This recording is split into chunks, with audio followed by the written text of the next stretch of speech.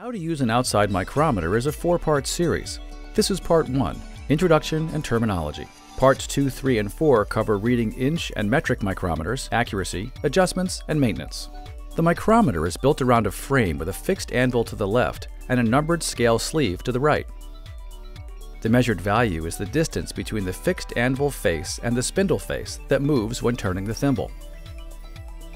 It's good practice to clean the measuring faces before using. Gently close the micrometer on a clean piece of paper, then slowly pull it out.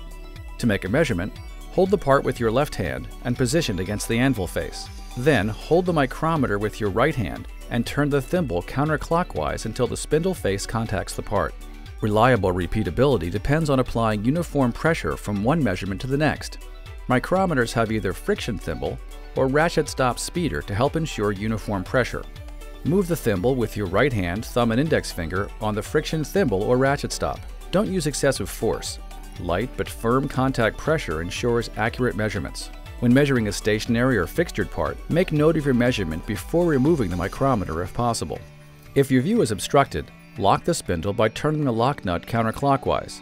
Then hold the micrometer by its frame, carefully slide it off the work, and note your measurement before unlocking. Now that you know the basics, the next step is learning how to read measurements. Parts 2 and 3 of this series will teach you how to read inch and metric micrometers.